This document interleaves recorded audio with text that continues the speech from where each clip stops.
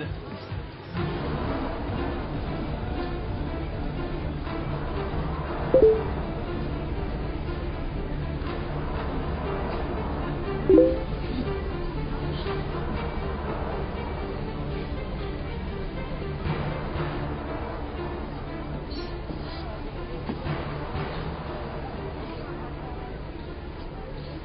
Davet edilmesen de evlenmek için geleceğin yeri iyi biliyorsun. Çok kalmayacağım Sarıfoğlu. Birini mi arıyorsun? Ne dedin sen?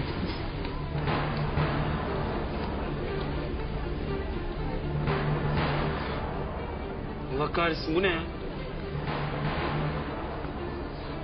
Ne oldu? Ya görmüyor musun anne ne işi var bu adamın burada?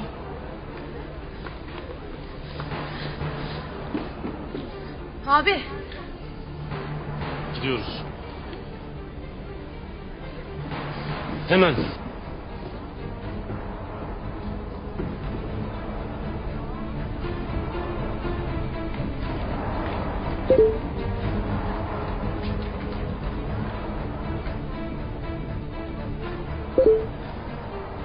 Biliyordum.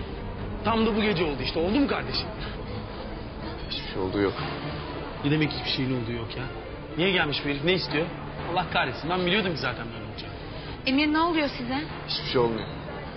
Çünkü bu pislik herif hala hiçbir şey bilmiyor. Anlıyor musun? Sen de sakinleş.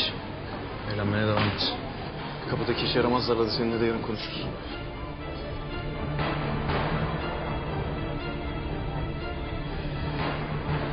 Emir konuşabilir miyiz? Konuşacak bir şey yok.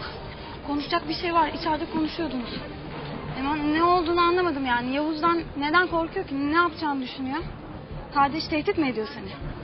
Ne duyduysan o. Hiçbir şey yapmıyor.